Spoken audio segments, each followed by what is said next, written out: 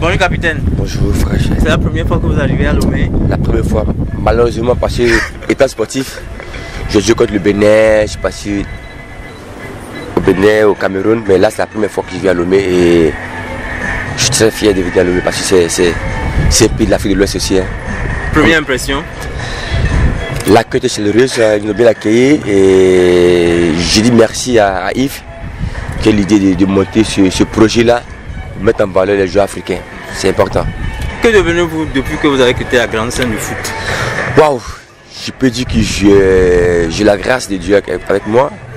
Voilà, j'ai fait 5 Coupes d'Afrique, 2 finales perdues, 3 Coupes du Monde. Et je suis le joueur le plus capé de l'histoire du foot ivoirien. Et aujourd'hui, j'ai monté un cabinet sportif qui vient en aide à tous les sportifs africains. Parce que souvent, quand on part en Europe, on est, on est délaissé par nous-mêmes. Donc, pour moi, c'est un suivi de suivre la carrière de ces jeunes-là, partant de 18 ans en Europe jusqu'à la fin de leur carrière. Et c'est mon rêve. Et j'ai commencé ce projet-là et j'ai pris Dieu que ça puisse aboutir à, à quelque chose de grand. Depuis que vous avez quitté les éléphants, une nouvelle génération Ouais. euh, est rentrée en, en scène. Ils ont disputé une belle phase finale de, de la Cannes.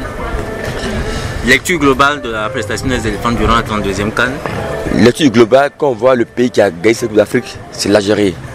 L'Algérie a battu toutes les, toutes les équipes et nous a battu au tir au but.